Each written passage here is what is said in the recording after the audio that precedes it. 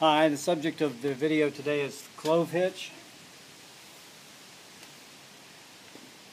If I take a rope and I act like I'm starting a car, take the key and turn it on, that's going to create a loop in the rope. So I'm going in a clockwise direction, creating my first loop, slide down, clockwise direction, create a second loop. I take the second loop, put it over top of the first loop, slide it down over the post, and pull, dress the knot a little, tighten it up a little bit, and that's a clove hitch. Let's run it again for a second. Start the car, start the car, right over left, put it on there, tighten it, dress the knot up a little bit, and it's secured. Now, given this configuration, I was tying it over top of a post. Let's assume that I have to go here. I've got nothing to slip it over. It's all together. You can still tie this knot. Different methodology.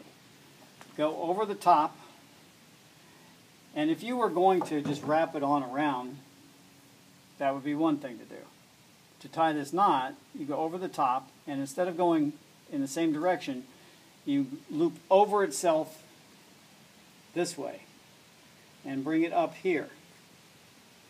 At that point, this top piece that you just created by switching over top of the rope, you just lift it up slightly and take the end of the rope and slide it through there. Tighten it up, dress the knot, and you have your clove hitch again. Let's run that one a second time. Over the top, cross over the rope, lift it up, go through, dress the knot, clove hitch. I'm going to go back one more time and tie it over the post. Start the car, start the car, right over left, put it on here. And the reason I'm doing this is because I want to show you the application for this knot. Sometimes you're doing something and you need somebody to hold the other end of a line that you don't want mobile while you're working down here. So if you don't have a second person, this is an excellent knot on a post to do this with. And this is not the subject of the video, but suppose I wanted to secure it to this with half hitches, which we haven't talked about yet, but I could go over top of the rope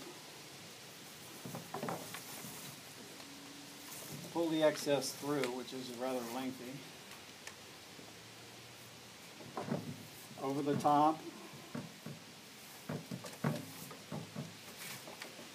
And continue working on down this, this log or, or whatever in particular it is that I'm trying to tie multiple times while, as you will have observed, not having to worry about holding the other end of the rope.